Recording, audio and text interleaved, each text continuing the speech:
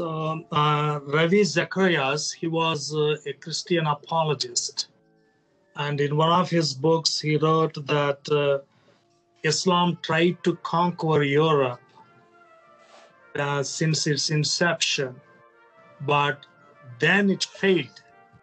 Uh, uh, the jihad against the Christian world, against Europe, for all those years, and then the a pause, but now it's starting up again with mass immigration. This is Yeah. clear. This is clear from uh, statements that some of the m- migrants have made. Of course, there are millions of migrants, and they haven't all made these statements, but there have been some who've said, We've come to Europe to spread Islam. And the fact that the Muslim communities in Europe generally resist and oppose assimilation and insist on applying Islamic law in their new lands instead of accepting the law of the land is another indication that they're not there as uh, immigrants have come to the West in the past.